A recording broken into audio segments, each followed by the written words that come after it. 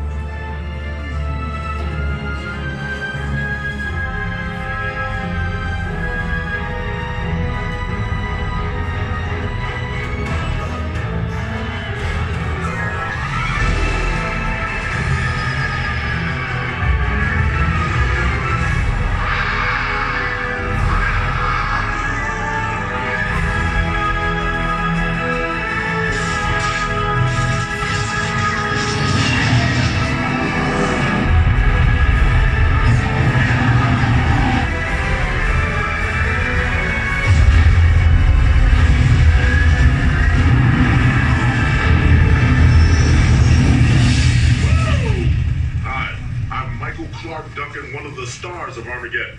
You know, ordinarily a massive explosion like that could hurt a guy, but check it out. Not a scratch. Thanks to the magic of special effects, that is. Can I get a little fresh air, please? I should have seen that one coming. Here on the special effects stage, you have to be ready for anything. Woo! Real cute, fellas.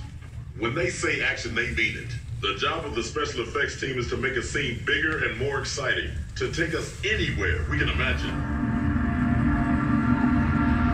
How about that? It is a small world after all, and an Armageddon, an asteroid as big as Texas was headed right for it. Hard to believe this killer asteroid began life as a harmless little styrofoam model. But with some amazing computer enhancements, it became a rock with a really bad attitude. It was no match for the world's best deep core drillers. That's me, right there. The cute one. But while my buddies and I were blasting through space to save mankind, we had a whole team of special effects artists backing us up. Using a combination of classic movie making tools and leading edge technology, they created the X 71 space shuttle and then launched us on a slingshot around the moon. Crash landing on a killer asteroid? No problem. They even gave us a mean doom buggy to drive around in. In the end, we were able to blow that asteroid off course without ever leaving the safety of the Walt Disney Studios in California. Of course, it's not always so easy. Sometimes actors have to be right in the middle of the action.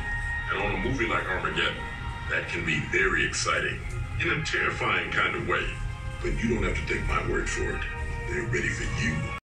Now, but you go on. There's nothing to worry about, really. There's nothing to worry about, right, fellas?